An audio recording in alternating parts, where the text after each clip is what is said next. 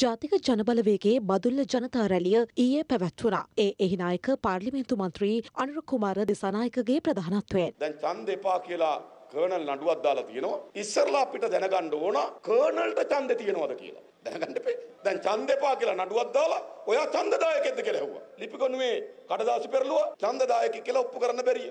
දෙවෙනි ප්‍රශ්නේ ඇහුවා. ඔයා ඡන්ද එපා කියනවා. ජනතාව 1 කෝටි 67 ලක්ෂ 99000 නමසි අනු නමයක් ඉන්නවා. ඕකොනම් අටට අඩු කරමු රනිලුත් අයින් කරලා. හරිද?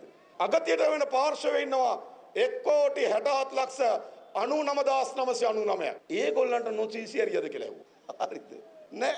ඊට පස්සේ ඇහුවා දේශපාලන පක්ෂ වලට නොතීසි ඇරියද? නෑ. එහෙනම් නඩුව 23 කිව්වා. 23 කියනකොට 22 තපල් ඡන්දේ.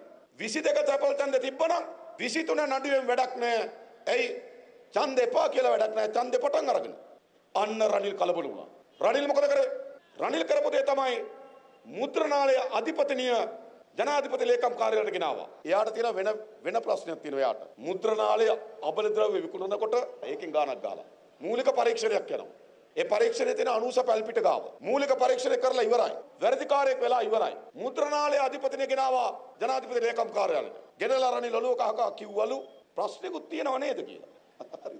කියලා කිව්වලු ඔයා සල්ලි දෙනකම් ඡන්ද පත්‍රිකා මුද්‍රණය කරන්න එපා කිව්වා. ඊට පස්සේ ගෙනාව බහණ්ඩාගාර ලේකම්.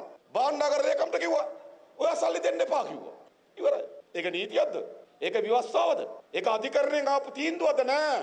මොන කොහොම හරි ඡන්දද මේ? මේවා අසිස්ත නායකයෝ කරන වැඩ. මේවා නිකන් අර සොත්තු උපාලිලා කරන වැඩනේ. පාතාලේ නායකයනෝ ඔහම කරන්නේ. ආයේ සික්කුවේ සරු බිම හොයන්න වදිනවදු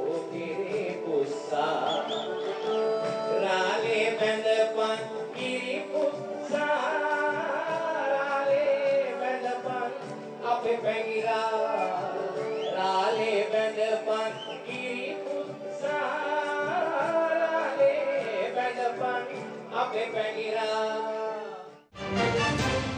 රටේ ලෝකෙ සිදුවන උණුසුම් පුවත් දැනගන්න සියත නිවස් YouTube channel එක අදම subscribe කරන්න.